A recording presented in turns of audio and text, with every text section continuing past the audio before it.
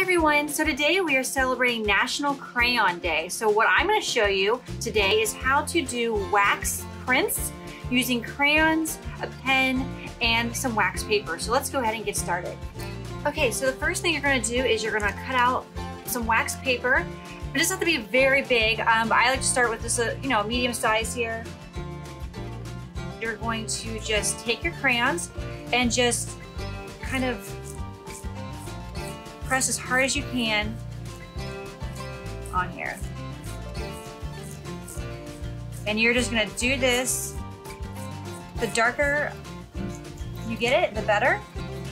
I mean, you're just gonna do this with your crayons until you have the space filled up that you want filled up. Okay, so once you have all the space that you wanna fill colored in, go ahead and take some scissors and just cut it out. Next, I'm gonna take a white piece of paper and I'm just going to fold it over and sandwich my wax paper in there. Now be aware of what side the crayon is facing because that's the one you're gonna to wanna to draw on. You're going to take your pen and you are going to create whatever design you want Whatever the pen does, that is gonna be pressed onto the paper and the crown is going to lift up and be on here as well. So I'm gonna go ahead and write something out. So you can do whatever you wanna do. Okay, so now what you're gonna do is make sure that you are still, you have your wax paper still where it needs to be.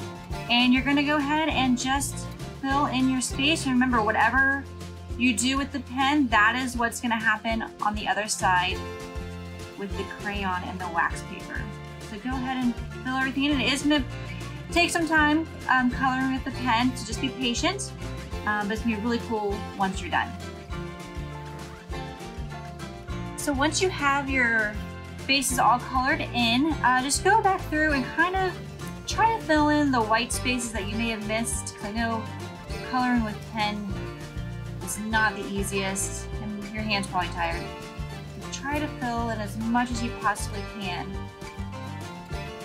Once you are done, go ahead and lift up. And there you go. There's your image. Well, I hope you enjoyed doing this craft with me today, and I hope you have a wonderful National Crayon Day. Bye!